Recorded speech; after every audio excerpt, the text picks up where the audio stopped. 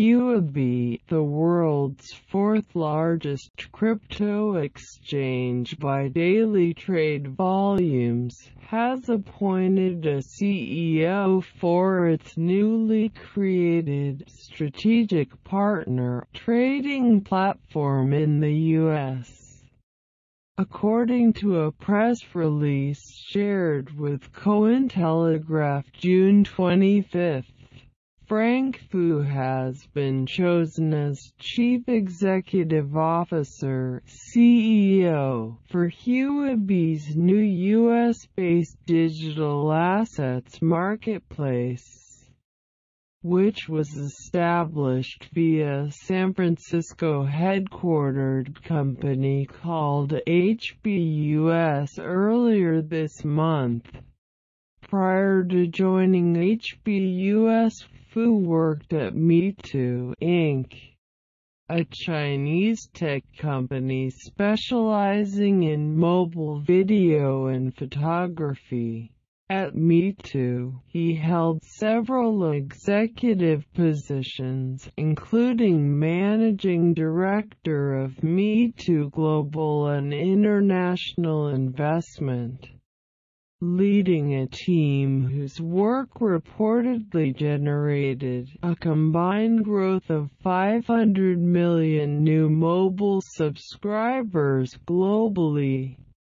Fu has also notably founded several blockchain mobile consumer apps and digital media startups in the US and Asia. According to the press release, Fu will be speaking at the Blockchain Connect conference in San Jose tomorrow, June 26, delivering a keynote presentation on the global blockchain industry and prospects. Huobi, which is headquartered in Singapore, has been actively pursuing its overseas expansion this year. Alongside its HBUS US venture, the exchange launched a South Korean subsidiary this spring, as well as revealing plans to open an office in London. Last week, Cointelegraph reported on Bloomberg Terminal's decision to list Huobi's recently launched cryptocurrency index, dubbed Huobi 10, which tracks the performance of the top 10 traded digital assets on its trading platform.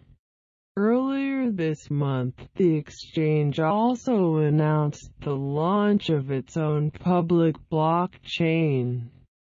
The Huobi Chain Project HCP, to be bankrolled with a $100 million development fund. According to data from CoinMarketCap, Huobi is currently seeing about $852 million in trades over the 24-hour period. It is now ranked fourth largest crypto exchange globally, ceding its formerly held third place to CoinBene. Please subscribe to get more video news from channel HK Reading Book. Thank you.